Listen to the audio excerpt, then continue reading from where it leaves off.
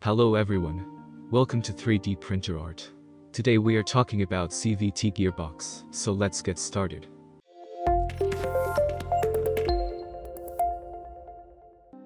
I designed this model by Fusion 360. If you want a CAD file just subscribe to my channel, and in the comments section, write your email then I will send you for free.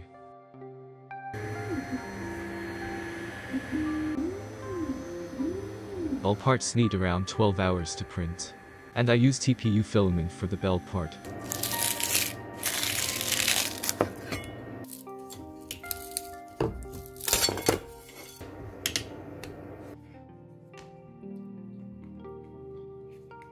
A continuously variable transmission, CVT, is an automatic transmission that can change seamlessly through a continuous range of gear ratios.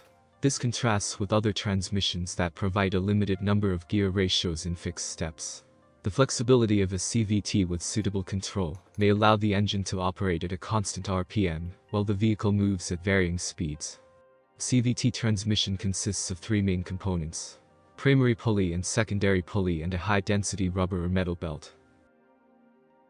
The pulley that is connected to the engine is called the input pulley and the one that is connected to the drive wheels is called the output pulley.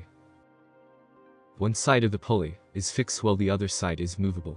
This movement is facilitated by a hydraulic cylinder which can change the space between the two sides of the pulley.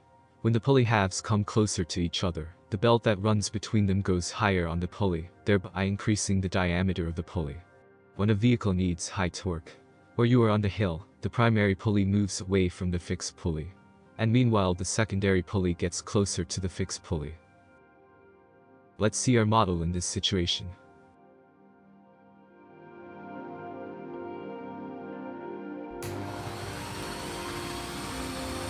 One of the advantages of a CVT is its ability to continuously change its gear ratio. This means that no matter what the engine speed is, it is always performing at its peak efficiency. CVTs often offer better fuel economy as a result, especially when driving in the city. When the vehicle needs speed ratios, or you are on the highway, the primary pulley gets closer to the fixed pulley, and the secondary pulley moves away from the fixed pulley.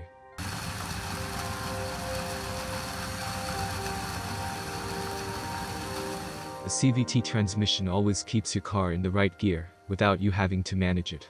Contrary to other types like the traditional manual or automatic units, a CVT transmission is designed to maintain the engine's speed square at its best power band.